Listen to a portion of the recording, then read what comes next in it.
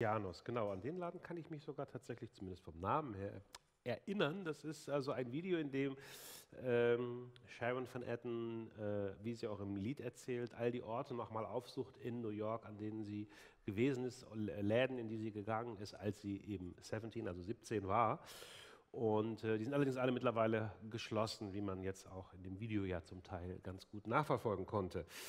Ähm, Sharon van Etten ist ähm, eigentlich äh, aufgewachsen in New Jersey, ist dann irgendwann äh, wie viele Menschen wegen der Musik, dann hat sie sich getraut, nach New York zu ziehen und äh, hat dort angefangen, Musik zu machen. Ein Wendepunkt, denke ich mal, in ihrer Karriere war, dass sie irgendwann Aaron Dessner von ähm, The National kennengelernt hat, den Gitarristen, der quasi ähm, ja, angefangen hat, auch ihre Musik zu produzieren. Dann ist sie auch auf dem äh, wiederum befreundeten, von äh, Bon Iver gegründeten Label Yak Jaguar oder so ähnlich gelandet mit ihren Platten ähm, und hat, wie ich schon vor dem Video sagte, Platten aufgenommen, die alle immer sehr unterschiedlich waren. Am Anfang, so habe ich jedenfalls gelesen, das ist ganz interessant, auf Wikipedia in ihrem Eintrag steht drin, dass ihre Songs äh, äh, ganz ungewöhnlich sind, weil sie ähm, quasi kein, kein, weil sie keinen großen Refrain komponiert, so das wird als was ganz Besonderes dargestellt, sondern das ist meistens eher so sich aus sich heraus entwickelt und irgendwie in sich dann immer dramatischer werden, aber ohne dass da jetzt so diese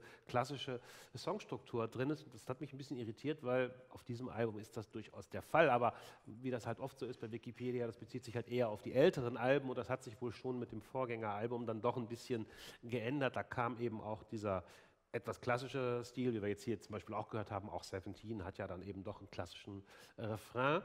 Ähm, also das ist, ihr musikalischer Kompositionsstil hat sich verändert und was noch wichtiger ist, aber auch eben ihr, sie scheint eben auch ein Mensch zu sein, wir sprachen gerade schon drüber, wenn man sich langweilt mit der eigenen Musik, äh, sie hat halt sehr viele Wandel vorgenommen, sie hat sehr, sehr minimalistisch angefangen, das Ganze wurde immer opulenter von Album zu Album, sie hat dann auf dem Vorgängeralbum schon mit Omnichord und äh, Piano gearbeitet, hauptsächlich statt mit dem Klavier, äh, statt mit der Gitarre. Ähm, wer Twin Peaks geschaut hat, übrigens in der letzten Folge spielt sie auch in der Bar einen Song von diesem Vorgängeralbum. Ähm, und auf diesem Album jetzt hat sich offensichtlich der Jupiter 4 in ihr Herz geschlossen, ein ganz alter Synthesizer, den sie halt offenbar in der Wohnung äh, vor sich hatte, da wo sie mit der Mitbewohner besaß den. Und er hatte es ja angetan. Und deswegen klingt dieses Album seltsam, finde ich. Man, beim ersten Hören, beim, beim, der, mein erster Höreindruck war tatsächlich irritiert, weil das Album schon an vielen Punkten klingt, so wie ich mir halt eine, die Musik einer amerikanischen Singer-Songwriterin vorstelle, aber mit falschen Instrumenten. Also sprich mit äh, elektronischen Drums, mit äh, Synthesizern. Es gibt ein Stück, das ein bisschen rausbricht, das ist, glaube ich, heißt, glaube ich, Memorial Day. Sie hat wohl auch gar nicht auf Gitarre komponiert, was nee, sie nee, sonst das tut, sie, genau, sondern hat auf diesem Synthesizer also oder auf hat, Keyboards komponiert. Genau, ja, ja, das hat sie. Aber, das, aber das, das merkt man nicht allen Stücken, also dem Stück Memorial Day, würde ich sagen, merkt man es vielleicht am ehesten an. Das klingt aber tatsächlich auch wie so ein sehr seltsamer Goth-Versuch mit so äh, ja, sehr sphärischem Gesang fast schon. Ansonsten gibt es noch Stücke, das fand ich ganz interessant, Comeback Kid.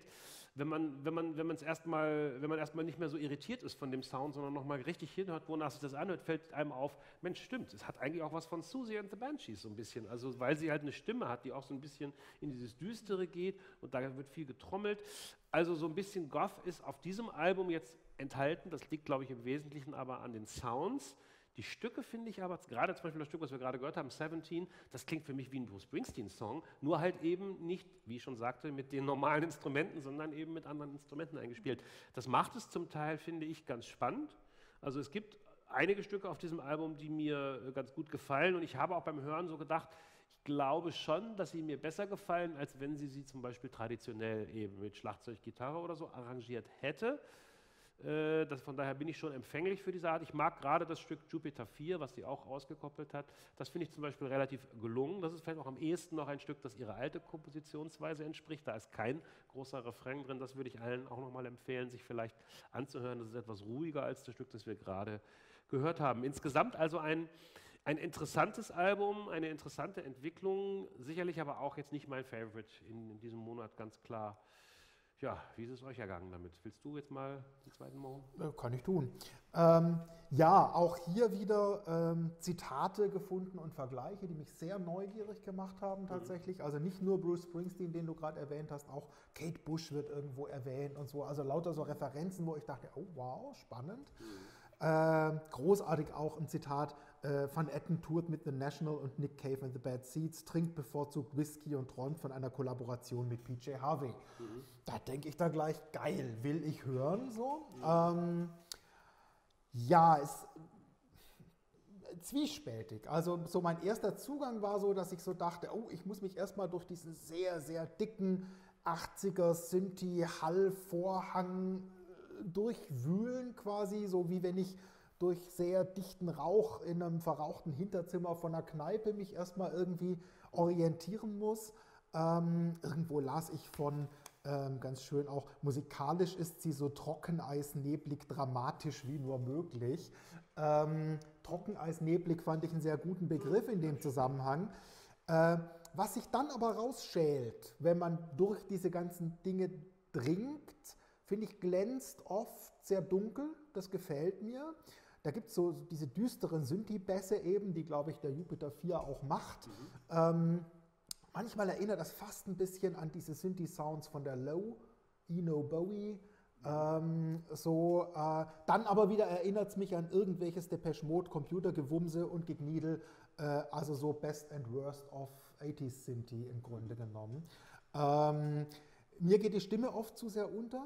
Ähm, wenn die sich durchsetzen kann, finde ich sie durchaus betörend und äh, vor allem dann, wenn sie tatsächlich auch mal ein paar Sätze am Stück singt, das ist mir manchmal auch zu sehr zerhackt. Mhm. Ähm, ich finde es insgesamt zu überfrachtet produziert wieder, aber eben nicht so billig überlackiert wie jetzt bei Rogers, sondern äh, mehr so mit dunkelgrün schimmerndem Vinyl überzogen.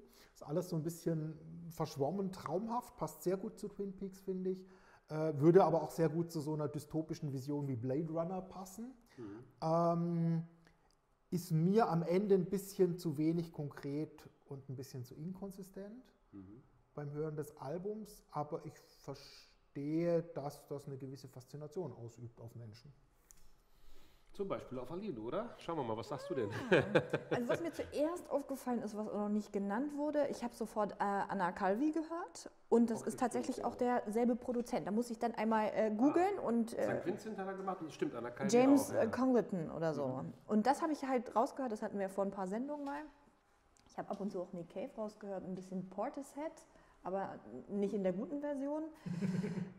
Mir ist das alles ein bisschen, ja, Streicher, Synthes, ähm, Teenage Angst, ja, ist auch nichts Neues darüber zu singen und äh, trotzdem abwechslungsreich. Also man konnte. Was singt sie denn noch über Teenage Angst? Also sie hat ja also früher über diese ganzen düsteren Themen gesungen und ist ja jetzt angeblich, nachdem sie Psychologie studiert hat, frisch verliebt ist, ein Kind bekommen hat, äh, singt sie ja angeblich über lauter positive Themen. Ja, aber es klingt ja, ja auch nicht so, oder? Naja, es also so positiv, also ich meine, was sagt sie hier, Comeback Kid geht es darum, dass es frustrierend ist, dass sie in ihrer Heimat immer noch als das Kind von früher gesehen wird. Das ist jetzt auch nicht so positiv. Ja, und sie jammert also. auch, dass alle ihre Clubs zu haben, die, genau, die ja, sie mit 17 besucht hat. Also so ja. positiv und hey, ist es dann auch nicht.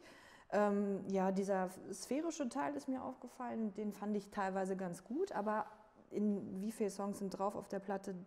10 oder 13. Da war es mir dann einfach wieder zu viel. Mhm. Ähm, ich fand sie tatsächlich besser, als ein bisschen mehr Gitarre mit dabei war. Also ich kenne sie nicht gut, ich kenne ein paar alte Songs.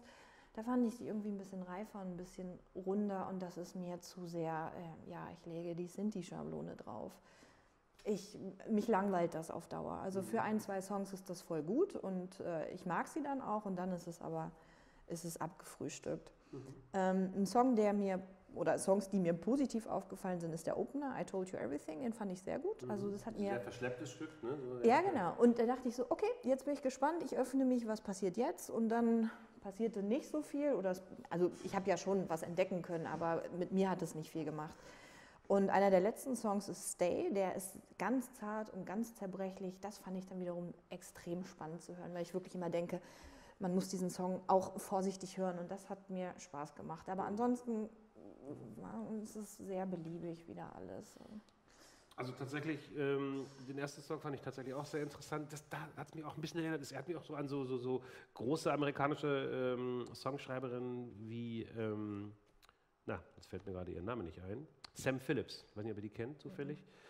Die hat äh, auch einige sehr spannende Platten gemacht und da hat es mich auch ein bisschen dran erinnert, wobei die klanglich nochmal anders ist wieder, aber ähm, ein Album, auf dem man viele interessante Sachen entdecken kann. Das passt ganz gut zu dem etwas aufgeräumten Cover, was wir da im Hintergrund vielleicht ab und zu schon äh, gesehen haben. Remind Me Tomorrow heißt das Album. Und ähm, ja, die Frage ist, äh, wie viele Punkte geben wir? Ich bin tatsächlich, bei mir ist es schon sehr schwer, aber ich neige dazu, weil ich eben auch einige Sachen nicht so gut finde, auf dem Album auch hier tatsächlich drei Punkte zu geben. Da äh, schließe ich mich an. Auch wieder drei Punkte? Ich gebe nur zwei nee, Punkte. Wieder. Ich hatte vorher äh, ja, okay, auch, auch, drei Punkte. Also, ah, okay, auf andere Weise, aber auch diesmal gibt es also quasi das gleiche Ergebnis wie bei Maggie Rogers, nur anders verteilt. Mhm. Genau, ja. Interessant. Gut. Ähm, Sharon van Etten, Remind Me Tomorrow. Ja, erinnern wir Sie morgen nochmal dran, ob das Album nun tatsächlich gut war oder nicht. Wir müssen es uns ja auch alle vielleicht nochmal schön hören oder auch nicht. Ähm,